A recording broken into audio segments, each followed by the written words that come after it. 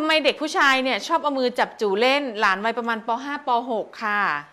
เพียร์โคลลาเจนไตรเปปไทด์ของ UTS คอลลาเจนจากเกล็ดปลาทะเลน้ำลึก ดูดซึมง่ายคืนความอ่อนเยาว์ให้ผิวคุณ โปรโมชั่นพิเศษ 1 กระปุก 520 บาท ลดเหลือ 490 บาท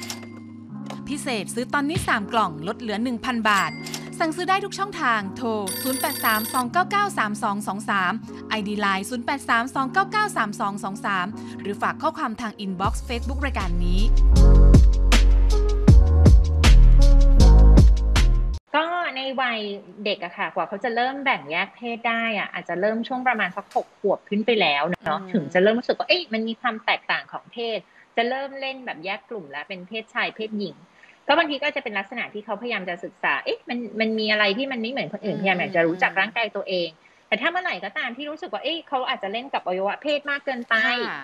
ดูแบบผิดปกติดูเหมือนหมกมุ่นอยู่แต่บริเวณนั้น หรือว่ามีลักษณะอาการที่มันดูรู้สึกว่าไม่เหมาะกับเด็กวัย11 12หรือว่า10ขวบถึง12ขวบนะคะค่ะก็อาจจะไปปรึกษาคุณหมอที่ดูแลประจำได้ค่ะอืมอ่ายังไงก็เป็นให้เขาปรับพฤติกรรมค่ะนะ ยังไงก็สังเกตดีแล้วแต่ว่าก็ เดี๋ยวก็ดูตามวัยเนาะอย่ากังวลมากเกินไปแต่ว่าถ้าใช่หากว่าพบอะไรผิดปกติ หรือว่าเอ๊ะชักกังวลก็พบคุณหมอดีกว่านะคะชีวิ